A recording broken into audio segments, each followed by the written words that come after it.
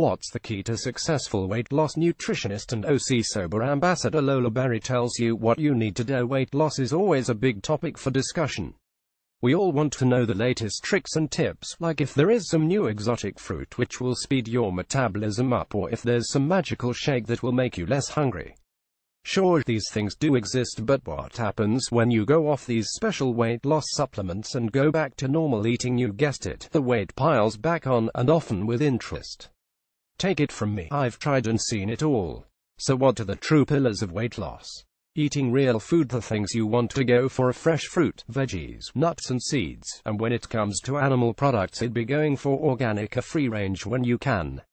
I know they cost more but that's just my preference both ethically and from a health perspective. Greater than greater than top 5 food rules for weight loss giving up alcohol for a while now. What about the booze? If you're really serious about dropping weight then it's got to go just for a little while.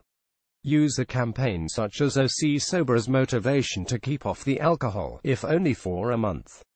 It's not even the fact that you're drinking empty calories but there's more to it than that. When you drink alcohol, your body needs to burn it off straight away, so if you're out for dinner, then the red meal you're eating is being stored rather than burned off.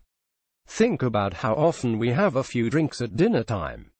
On top of that, we want our liver to be in tip-top shape to be losing weight as it's a key player in fat emulsification. So if your liver is out of whack, then it's going to be harder for your body to break down fats.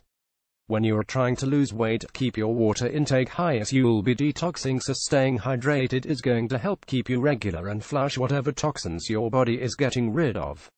Get regular sunshine getting a bit of sunshine every day is key. I'm not saying roast, but just a little walk in the sun most days will give you a nice hit of vitamin D which is needed for your metabolism. Greater than greater than how vitamin D boosts your immune system. Ab happy finally. Most importantly be happy. If you're not happy you won't be compliant and you'll keep reverting to the easier option. Plus, when we're not happy we turn to other things to make us happy like sugar, carbohydrates or alcohol. So make sure you're doing things to make you happy, things that feed the soul. Find more about Lola Berry Ocsober Ambassador, author and nutritionist at www.lolaberry.com.au. Greater than greater than eat yourself happy greater than greater than can coconut oil help you lose weight greater than greater than beat the weight loss plateau.